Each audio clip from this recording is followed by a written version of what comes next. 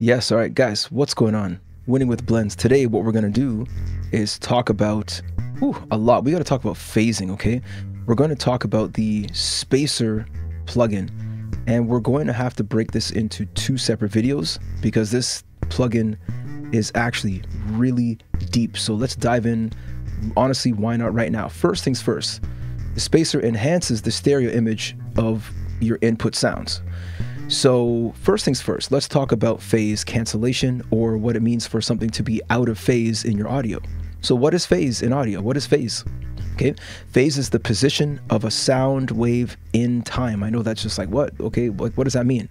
Waveforms have positive and negative values. So, think of an x axis. The waveforms go up and down, and essentially there's a start point to a wave right? The relation to the amplitude of frequencies is where we can find how these negative and positive values can cause phasing. So let's dive a little deeper. Two identical signals that are completely in phase are ones where the waveforms begin at exactly the same time. The two signals would be fully out of phase if one of those signals were phase shifted by 180 degrees. Okay? Waves move in cycles, as we know. And these two waves, for example, these two waveforms would be at the exact opposite point in the cycle if the phase shifted if the if the phase was shifted 180 degrees for any one of these two waves okay? So this is due to destructive interference.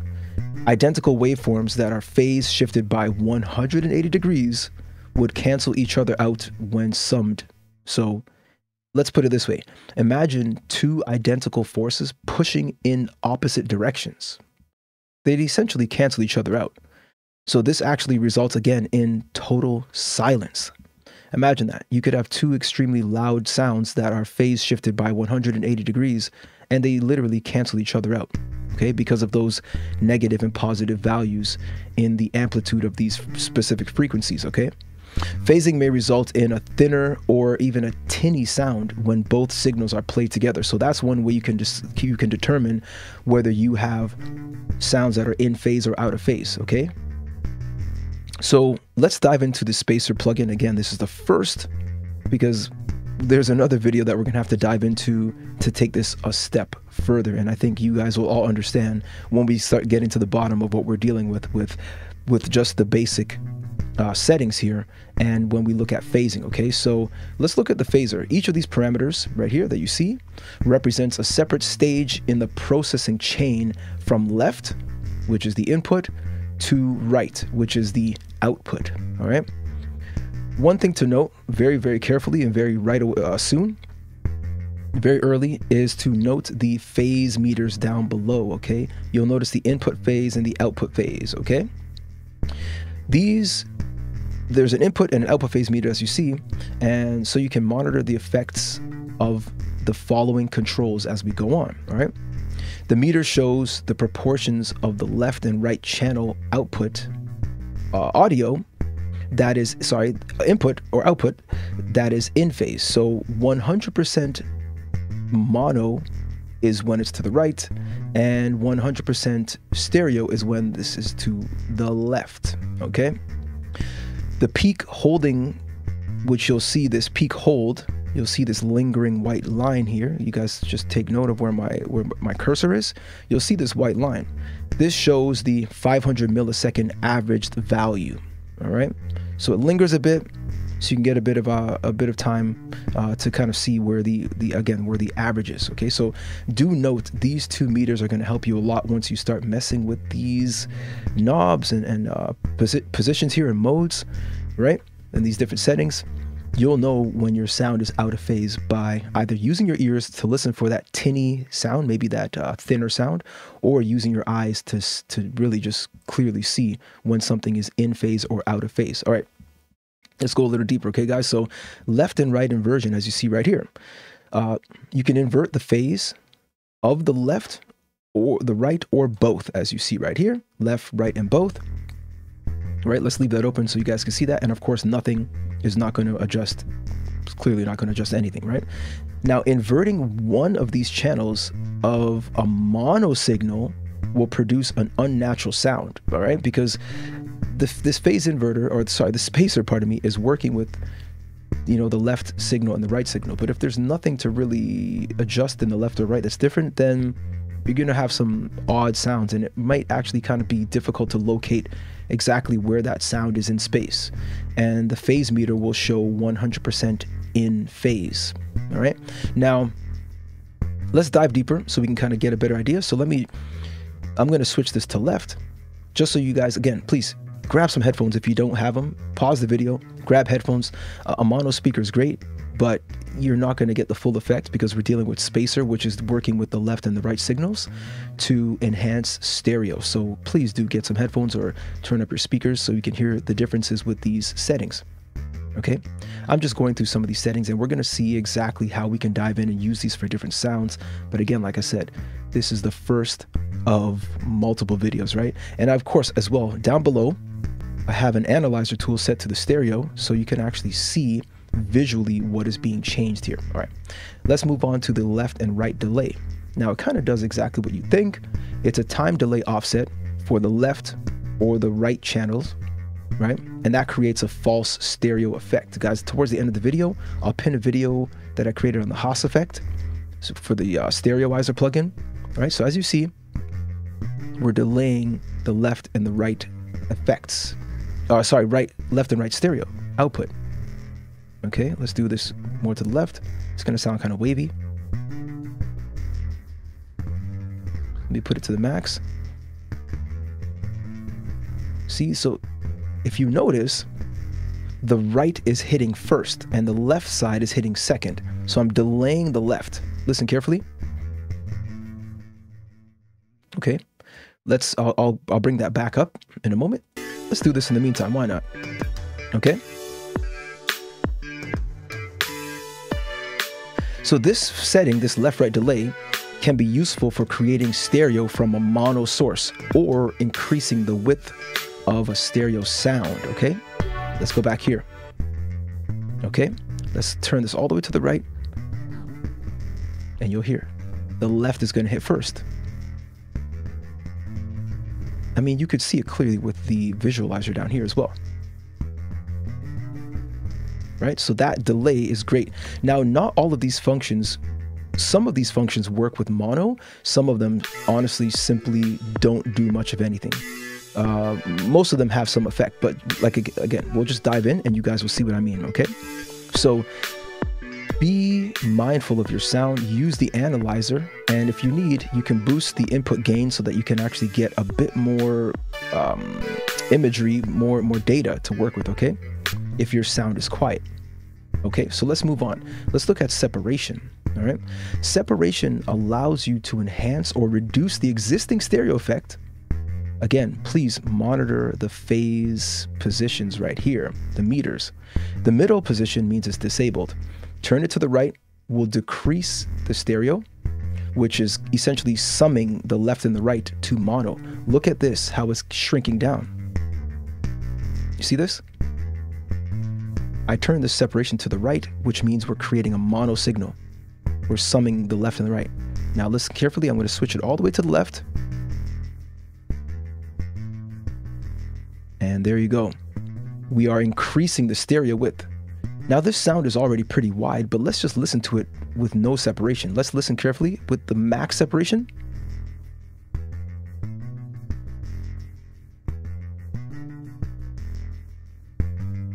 And now this is with default. Again, max separation, it should be wider. And then we're going to go back to the default. And now let's bring it back to mono. Right? We lost that space. We lost that depth. And you can see the visual representation right down here in the in the uh, analyzer. So back to the default, okay? All right. Now, this control as this one has no effect on mono sounds.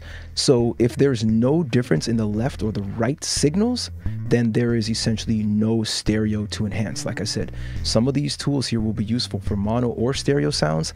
Others, it just won't do anything. So if you got a voice, like your voice recorded through one microphone, that is a mono signal, and you're trying to separate your voice, there's nothing to separate because it came from one sound source, right? One mic, one sound source. Okay, let's look at pan. Okay, now pan changes the left and right channels levels to create a panning effect. Now there are cross mixing pans that add the left into the right signal or the right into the left channel, let's say, when you pan. But this particular pan knob right here maintains the independence of the left and the right signals. Let's do it right here. Let's do this right here. And I'm gonna pan to the right, okay? Ooh, check it out. Okay, panning 100%. As you see, it goes to the left. And let's go. Okay.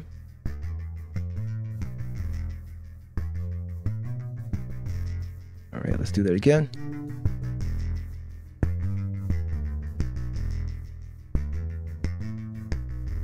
All right. Okay. So work with the panner. Again, always watch your phase meters with, especially with some of these particular uh, knobs here. Do watch your phase meters to to make sure that you don't get that thin, that tinny or thin sound, as, and especially when you're blending two different sounds together. Let's say, right? Uh, maybe similar sounds. Maybe you recorded with a guitar, um, you know, a mic uh, amp and direct input or something. Use this to, to get a better idea of your phasing. Okay. Now, the mid refers to the center pan and the side refers to the stereo pan. Okay, so when we're looking at all of these other options as we continue on, okay? All right, let's put this back on for the moment, okay?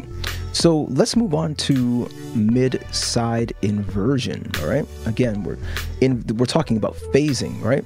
where the mid is referring to the center pan and the side is referring to your stereo pan, right? So we'll definitely dive into some more mid-side processing with the spacer in an upcoming video. But like I said, it's gonna get really deep, so we've got to separate these two uh, videos.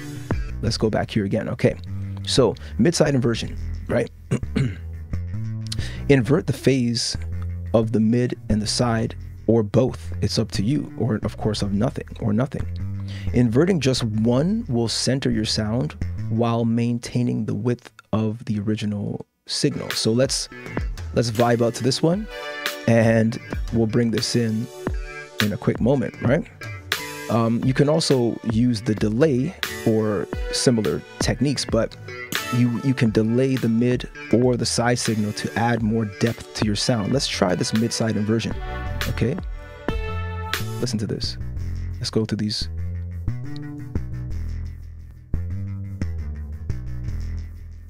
All right. When I invert both, that's when I notice the most difference. Listen carefully, guys. Let's bring this right back to the top, okay? Why don't we go right back to the top so that we get the full experience again? So this is both. This is nothing. The differences are subtle with this particular sound it's a pretty broad sound. It's also coming right down the middle as well, so it it represents itself well in the in the mid as well as the side. So. Um, depending on the sound you're using, you may notice the mid-side inversion has a greater effect. Now this is side.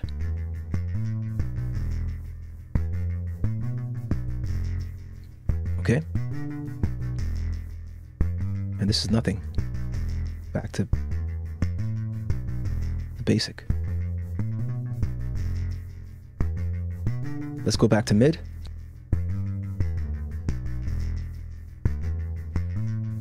Now, of course, when you put these all together,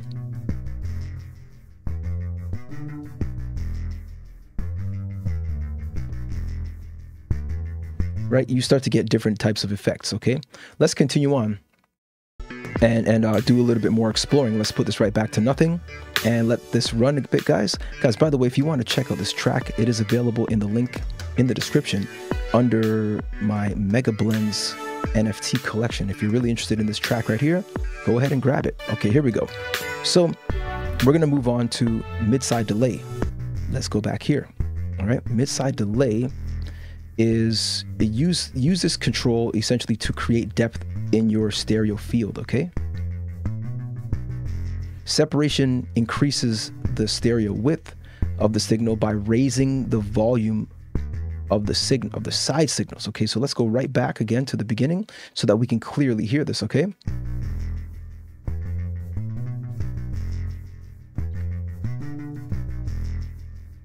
So moving this the knob to the right will delay the mono signals and moving it to the left will delay the stereo signals. Listen carefully.